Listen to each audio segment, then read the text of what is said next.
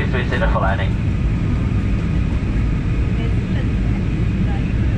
Thưa quý khách, máy bay của chúng ta chuẩn bị hạ cánh. Một lần nữa, quý khách vui lòng kiểm tra và cài chặt dây an toàn. Quý khách lưu ý không lấy áo phao ra khỏi vị trí khi không có thông báo của tiếp viên. Xin cảm ơn. Ladies and gentlemen, we will be landing in a few minutes. Once again, please check that your seatbelt is firmly fastened. Please be informed that passengers are not to remove the life vest from its location unless instructed by cabin crew. Thank you.